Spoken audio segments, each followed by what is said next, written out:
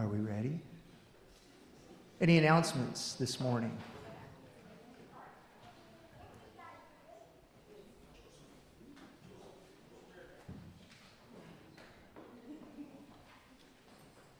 Good morning. I was so hoping that we would just kind of calmly finish up the school kids, but we have um, had wonderful, wonderful donations, and more than twice from last year, doubled from last year. Um, but there's a couple categories we don't need any more pencils. Um, we still need pens and rulers um, to try and, and match up the amounts. We're trying to get at least 100 kits, and we're at 89 rulers and 99 pen sets. Um, the notebooks, we only have 87 notebook sets. So, you guys, when you're shopping this week, if you want to grab a couple more items in those categories, we can get them up to 100. So, thank you.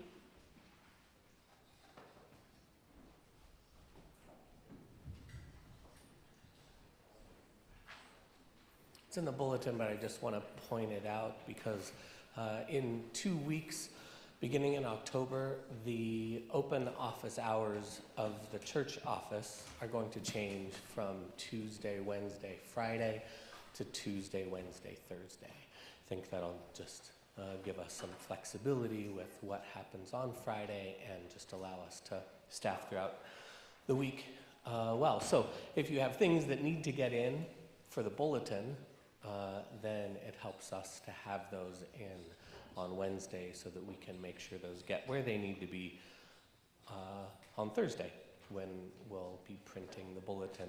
Again, that's got a couple weeks out, but just want to give you a heads up with that.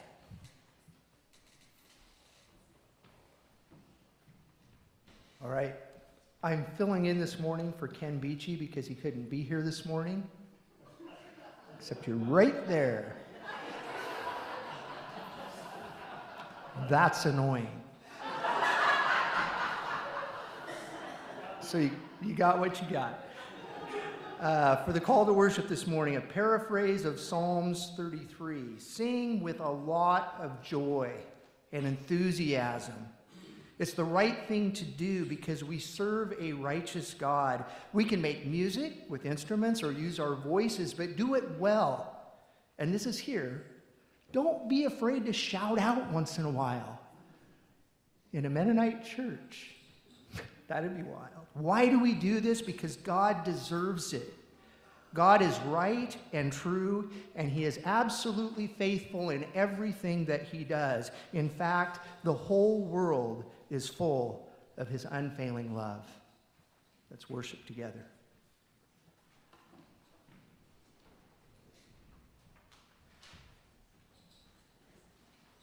morning. Please turn in your voices together to number 30. Number 30. Jesus calls us.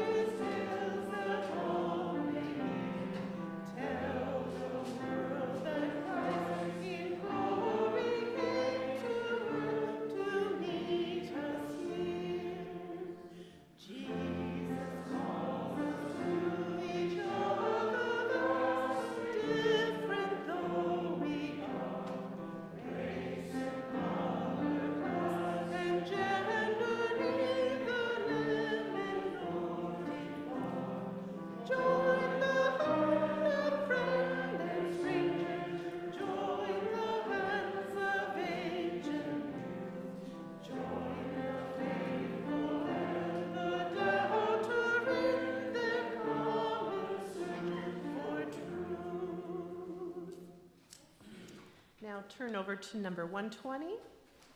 Number 120, please stand.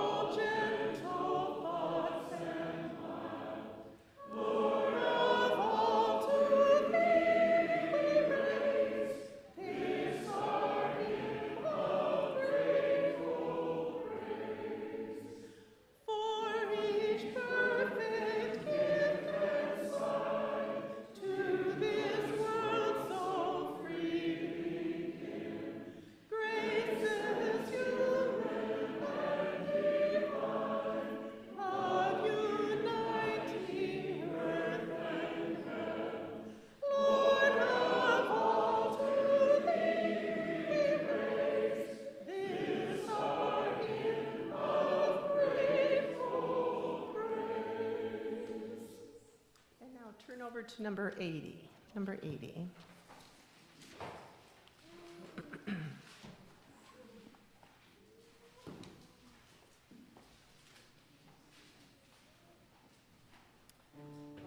we'll sing one, two, and four.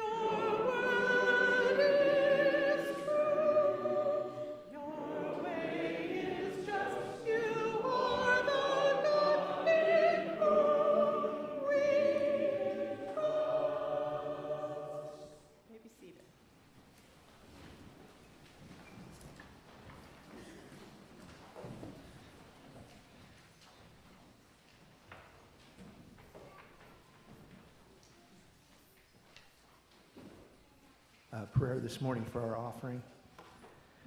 Lord, we thank you. Our life is all hidden in you, all that we have, all that we are. And we thankfully and gratefully give back to the work of your kingdom. Amen. Pass the peace.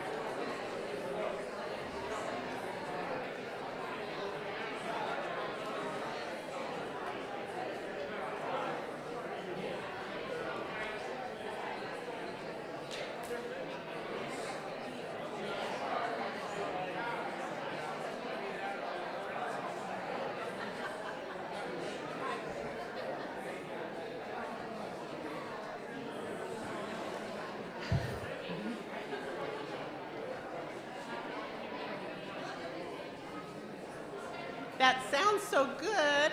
Let's join together, remain standing, and join um, with me in singing page 182 in Voices Together. I sing the mighty power of God.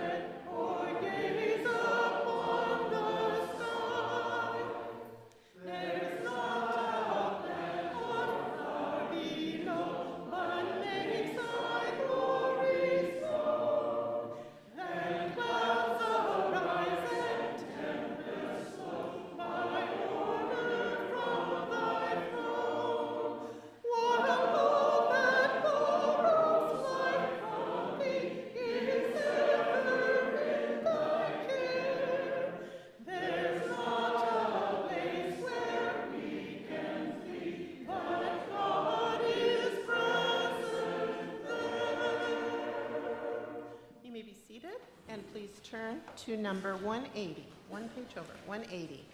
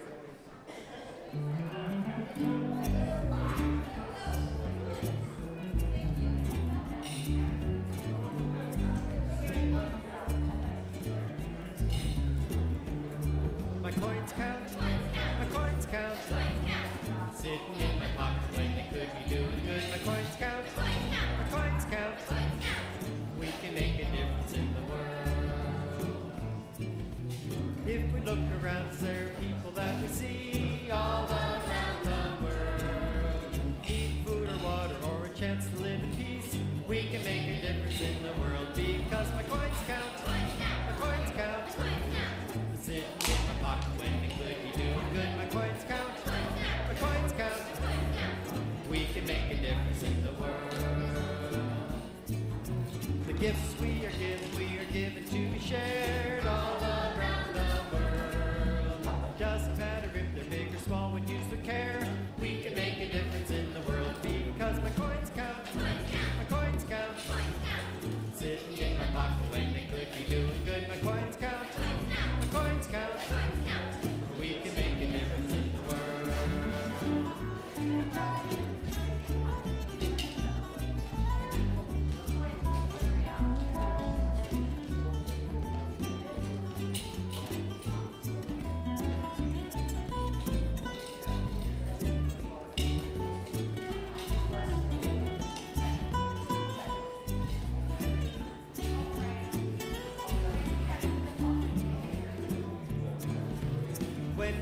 together, there's a lot we can achieve all around the world. Witnessing to others that we live and we believe we can make a difference in the world because coins count. My count. Okay. All right. Come over here and sit. Okay, how many of you guys had Isaac, a story about baby Isaac and God's promise today in Sunday school? Yeah, you did, Isaac. You just were a little bit late. Yeah, okay. All right, that's what I thought. I thought most people would have it. Most of you were in my class ha- having the story of Isaac, weren't you? Yeah, then we made babies. It was good.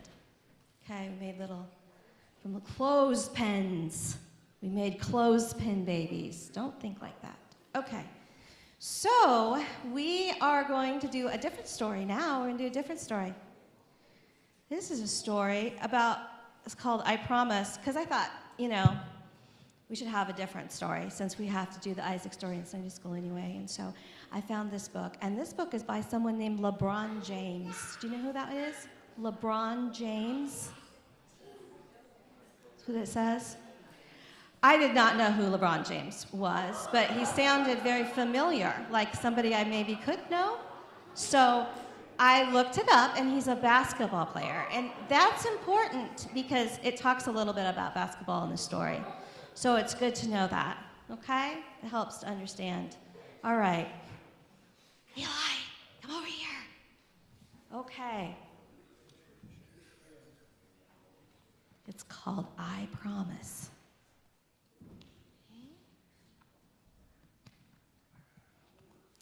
I promise to work hard and do what's right, to be a leader in this game of life.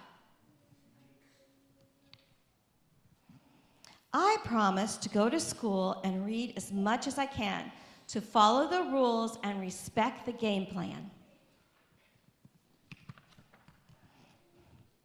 I promise to run full court and show up each time and let my magic shine.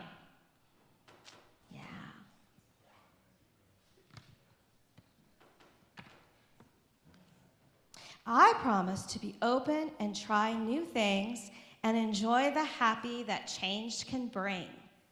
Does change sometimes make you happy? Yeah, sometimes.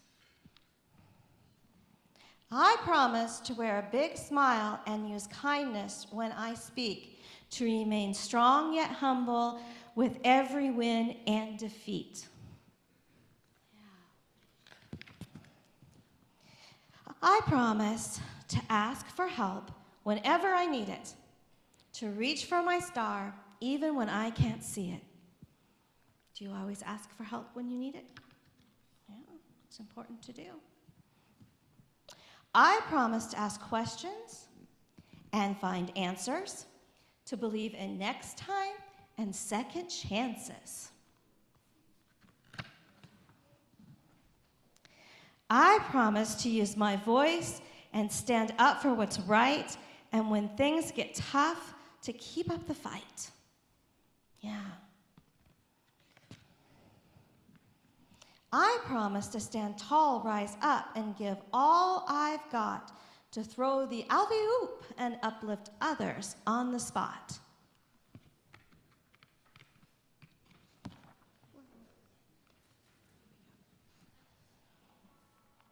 I promise to respect my elders and peers the same, to le- leave new places better than I came. Did you all leave your Sunday school class better than it was today when you showed up? Hmm? Something to think about, yeah.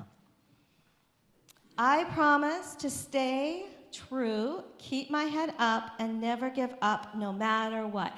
I promise to dream big and love bigger, to be a team player and a winner. Hmm. Here we go. I promise to be courageous, to be free, to strive for greatness.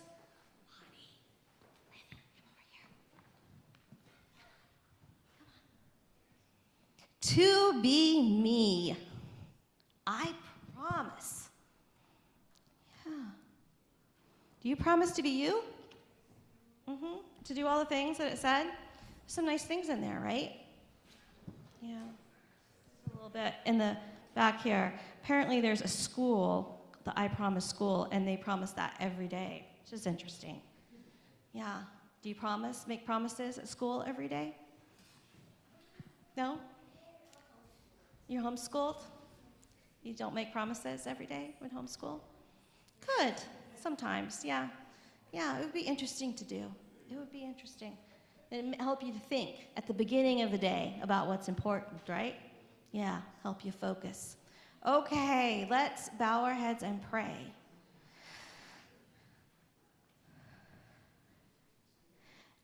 Dear Lord, we can promise what we wish to do for you, but it is only with you that we can achieve those things. So be with us this week as we go out and try to live your truth. We pray in Jesus' name. Amen. Okay, you can go back to your seats.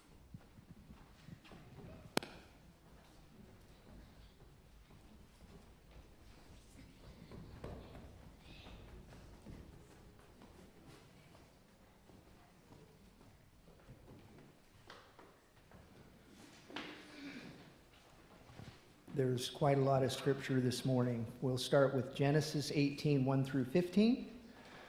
The Lord appeared to him by the terebinth trees of Mamre, where he was sitting in the tent door in the heat of the day. So he lifted his eyes and he looked up, and behold, three men were standing by him.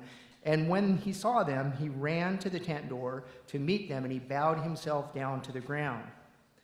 And he said, My Lord, if I have found favor in your sight, do not pass your servant by. Please let me get a little bit of water brought to wash your feet, and a morsel of bread that you may refresh your hearts. After that, you may pass by, insomuch as you have come to your servant. And they said to him, Do as you have said. So Abraham hurried into the tent to Sarah, and he said, Quickly make three measures of fine meal, knead it, and make cakes. And then Abraham ran out to the herd, took a tender, good calf, gave it to a young man who hastened to prepare it. So he took the butter and the milk and the calf that he had prepared, and he set it before them, and he stood by them under the trees as they ate. Then he said to them, Where is your wife Sarah? So he said to him, She is here in the tent. And he said, I will certainly return to you according to the normal time of life, and behold, Sarah your wife shall have a son. Now, Sarah was listening in the tent door, which was behind him, and, and Sarah and Abraham were old, like really old. And Sarah was well past the age of bearing children. And therefore Sarah laughed within herself, saying, After I've grown old, shall I have this pleasure, my Lord being old also? And the Lord said to Abraham, Why did Sarah laugh? Saying, Shall I surely bear a child since I am old? Is there anything that's too hard for the Lord? At the appointed time I will return to you according to the time of life, and Sarah shall bear a son. But Sarah denied it, saying, I did not laugh, for she was afraid. And he said, Nope, you laughed. It's an abrupt ending. From Genesis 21, 1 through 7. Now the Lord was gracious to Sarah as as he had said, and the Lord did for Sarah what he had promised. Sarah became pregnant. She bore a son to Abraham in his old age at the very time God promised that it would happen. Abraham gave him the name Isaac. A- Abraham gave the name Isaac to the son that Sarah bore him. When his son Isaac was eight years old, eight days old, Abraham circumcised him as God commanded him. Abraham was a 100 years old when his son Isaac was born to him. Sarah said, God has brought me laughter, and everyone who hears about this will laugh with me. And she added, Who would have said that Abraham and Sarah would nurse children, yet I have borne him a son in my old age?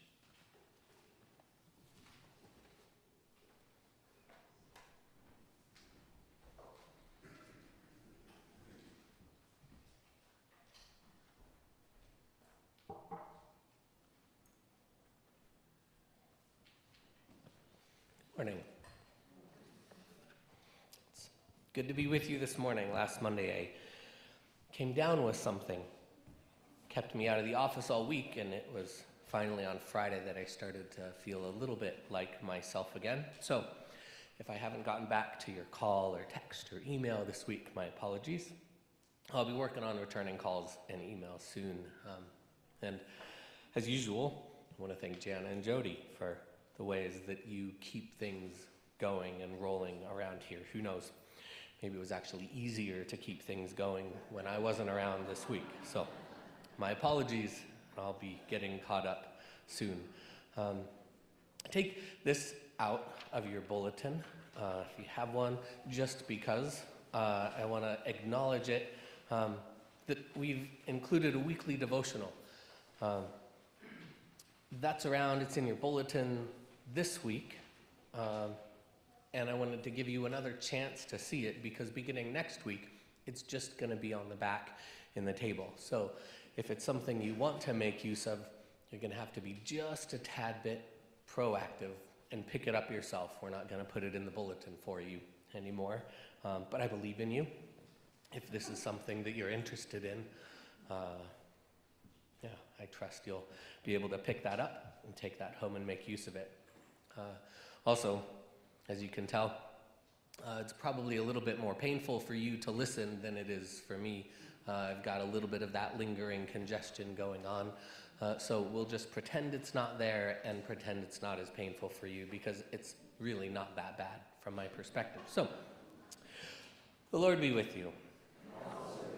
Last week was the beginning of the story, God's story, and the story that we find ourselves wrapped up in.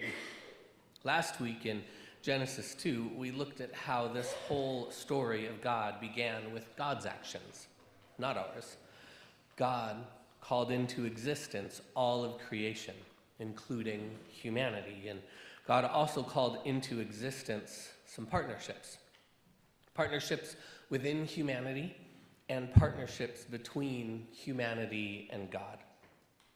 One of the main functions of the story of Genesis for the followers of God was and is to remind us about God's promise of a partnership with us and to ask the question what does faithfulness to that partnership look like? Whatever the time in history, whatever the physical location, cultural setting, what does it look like for God's listening people, the church at our best, to be faithful to our partnership with God? And what does it look like for God to remain faithful to the partnership with humanity? God created us in a desire for partnership. So, partnership with God and with each other is what this story, God's story, is about. This morning, that story continues. But this week's story shows the origin of the people of Israel, people who are the descendants of Abraham and Sarah. And it further shows that God is true to the promises of the partnership. See, Genesis 18, it's, it's an interesting to- story to me. I get it's not all that surprising. I'm the pastor. I'm supposed to think everything about the Bible is interesting. That's my job. Uh, rest assured, I don't think everything about the Bible is interesting. There's a lot of stuff that, well, sometimes feels really boring. Um, but really, there's so many unexplained things, I think, in this passage, in this story, uh, things that are just left unresolved. It's like introduced and then it just sits there. There's this thing where God appears in the form of multiple people all at once. It says God shows up and it's three men walking together. Obviously, that's Trinitarian. Well, maybe. But the catch is for the Israelites around 600 BC, when this story was kind of compiled, they didn't have any sort of doctrine or understanding of the Trinity, let alone a need to teach such an understanding. So, why does God show up in the form of multiple people? Eh, we don't know. That's what I kind of find interesting. There's just a few things we don't know. In one of the three men, is one of the three men actually God, and the other two are somehow just along for the ride? Did God split God's self into three distinct beings? And if that's the case, what would God use to differentiate those beings? What would be the benefit of drawing divisions? Would the message God is carrying mean more to Abraham, coming from a group of people instead of just one? Is Abraham losing his mind and seeing people who aren't there? And that's just how the story gets recorded. Or is he perfectly in tune with reality, Abraham? In just a handful of sentences, this passage starts to bring so many more questions than it does answers. Then, God speaks to multiple people all at once in the story. There seems to be this layering going on. It's clear that God's questions and promises are intended for Sarah, but he relays them to Abraham, even though he gives us readers a few hints that he knows Sarah is listening outside the tent. At the end, God even addresses Sarah directly, and what's the significance of God appearing and communicating in all these multiple layers all at the same time? Well, we get no real answers. Why three men at the beginning, and why talk to Sarah through Abraham, but then directly to Sarah? Well, another reason that I find the story in the first half of Genesis 18 interesting is that it sets up the story of Sodom and Gomorrah. Oftentimes, the Sodom and Gomorrah story, we, we skip the beginning of 18 and just jump in. But the story here in the first half of 18 shows the extravagant hospitality of Abraham and Sarah when they encounter a group of immigrants, strangers, people they don't know. And there's this stark contrast to the complete lack of hospitality shown to the strangers in Genesis 19. Contrast of Abraham's hospitality with that of the people of Sodom suggests that maybe the story and the destruction of Sodom and Gomorrah has to do with hospitality. A third reason why I find the story interesting is the laughter part.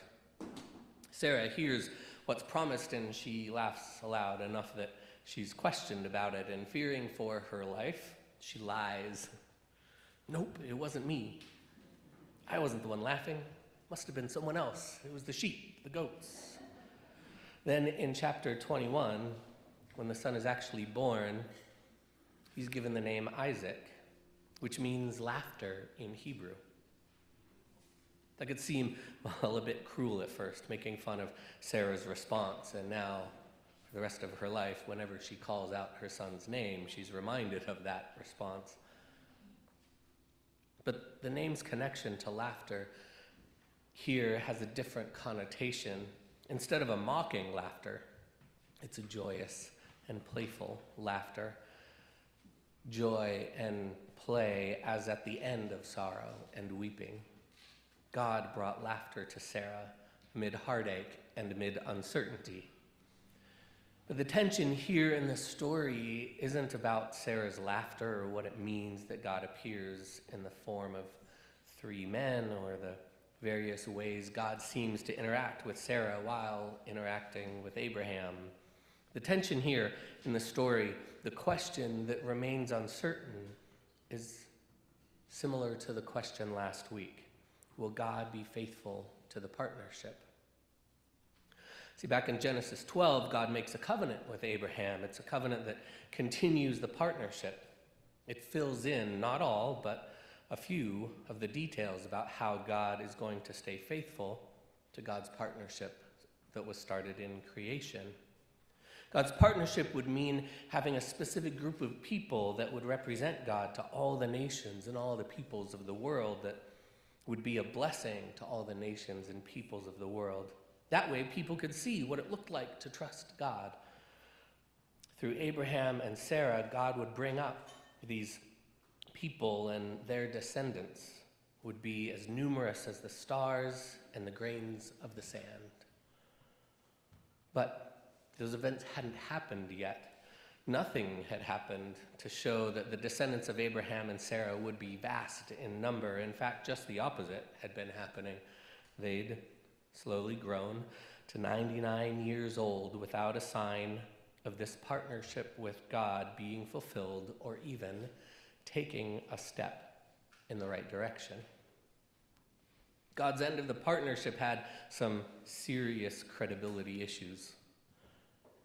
Maybe that had been caused by the people's unfaithfulness, and God finally realized humanity was just a lost cause.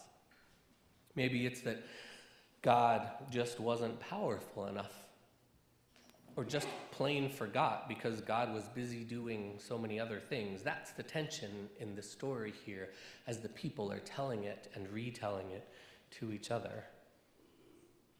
Will God remain faithful to the partnership? And if so, how? Because this situation is completely laughable. See, it's that tension that's resolved in a miraculous way. When Sarah gives birth to Isaac in chapter 21, God remains faithful to the partnership and the laughter continues. Oh, great. What does all that mean for us, though? And I, I know better than to believe this means God's faithfulness to the partnership guarantees a baby born to everyone that wants one. Though I have heard people use this passage to claim such a thing, if you just had enough faith like Abraham and Sarah. Nope. While certainly joyful, Abraham and Sarah's receiving Isaac is not God's promise of prosperity for all those with enough faith or with the right faith. And by the way, I'm sorry. If you were ever made to feel like something did or didn't happen because you didn't have enough of the right faith. The birth of Isaac shows God's faithfulness to the partnership with humanity because it's the beginning of that partnership being extended to all the peoples of the world. Through Isaac, God develops an entire people group that would be God's representatives. See, in the midst of our doubts, God is still working out faithfulness. Faithfulness to the partnership in ways we cannot always see, ways we can't predict, ways we think impossible, or ways we wouldn't dream of in our wildest dreams. God's working out faithfulness to the partnership in ways that probably even seem laughable to us. God will meet us with things better and more absurd than we can imagine in more than one way, more than one time, drawing on many more people than just us, until that time when we internalize those good and absurd things, until we realize that they are coming true and God is remaining faithful to the promise. Back in April of this year, New York Times columnist Jessica Grose she began an ongoing series of articles that explore America's current and changing relationship with religion. The first article was titled, Lots of Americans Are Losing Their Religion. Have you? Jessica's articles and other articles on the topic of religious decline written by Nicholas Kristof. They cite recent book called The Great Dechurching. It's by Jim Davis and Michael Graham, and they write, more people have left the church in the last 25 years than all the people, all the new people who became Christians from the first Great Awakening, the second Great Awakening, and all of the Billy Graham Crusades combined. Granted, most of the studies about people leaving the church are focused on mainline and evangelical denominations, but I know those of us in other Christian traditions, we feel the tension just the same. In the midst of such times, it makes sense to ask questions, to seek understanding as to why people are leaving, to learn about the reasons for the decline. It's also easy to wonder what God is doing and question how God is continuing to work in the midst of such a decline in church attendance across the United States. Is this because we don't have enough faith? Had God given up on the promise and the partnership because of our unfaithfulness? Is this judgment? Any way out of this continued decline, or rather downward spiral, seems laughable.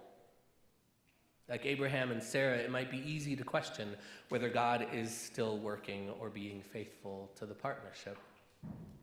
But we can also learn from Abraham and Sarah that God is working, often in surprising and outlandish and absurd ways that far surpass what we can even comprehend, ways that would cause us to laugh out loud.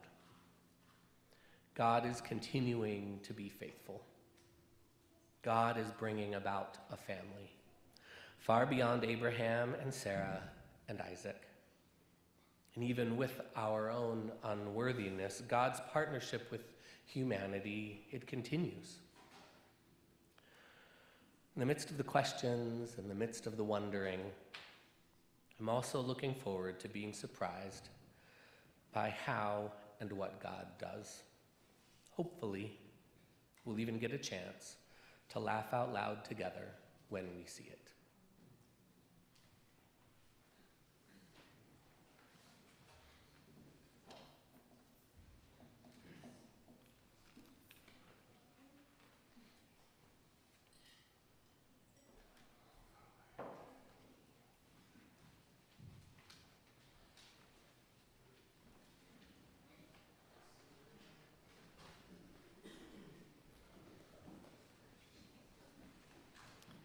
In response, let's please stand and turn to number 419. 419.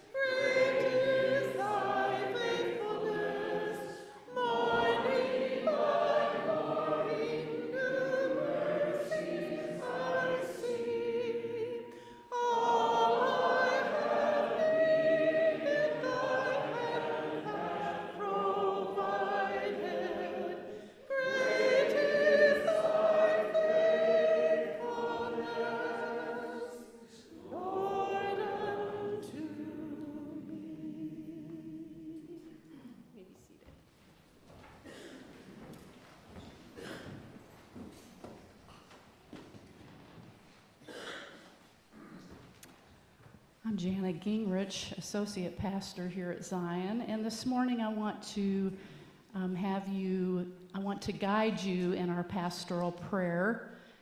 And at the end, we will say the Lord's Prayer together.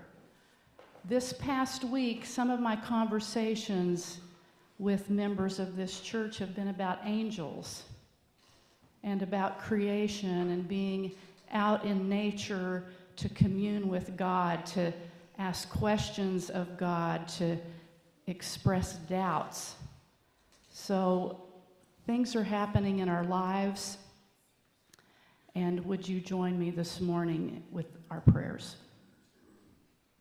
God, you are the source of our lives, and you have loved us from the first day we were born. And we remember with deep gratitude your faithfulness to us in every season. You have walked beside us all of our days in times of light and joy, in times of struggle and heartache, in times of darkness and weakness. You have been our comfort and our friend and our Savior. Lord, in every season, you have been our source of hope, and you have taught us that we are surrounded by your deep love. Thank you for the care and love that we receive from each other.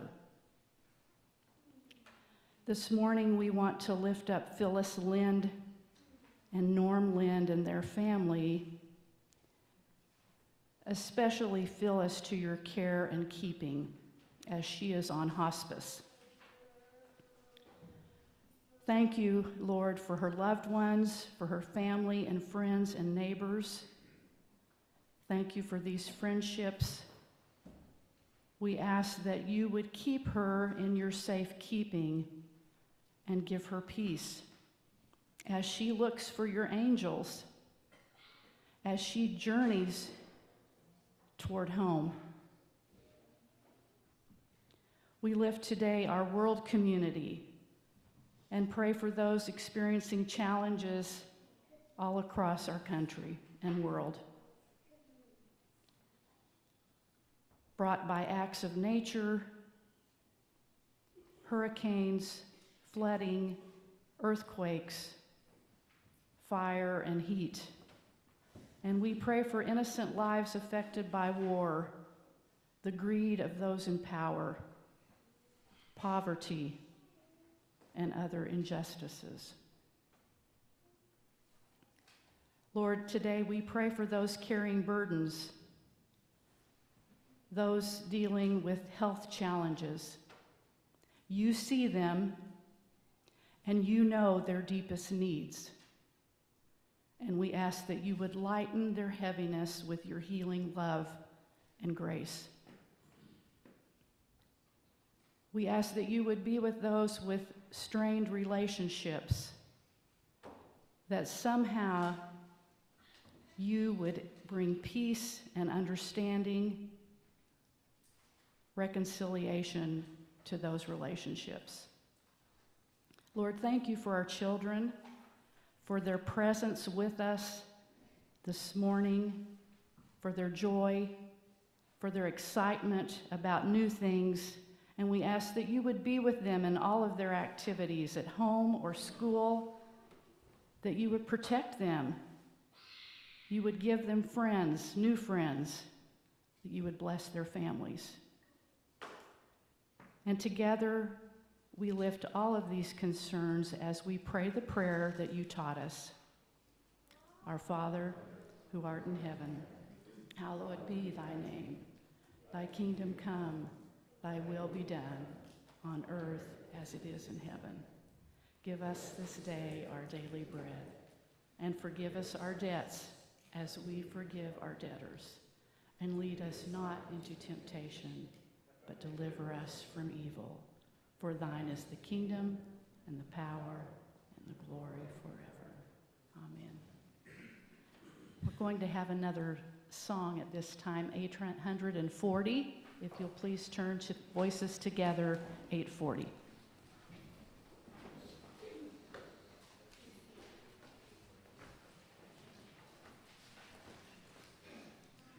Please stand and join me in 840.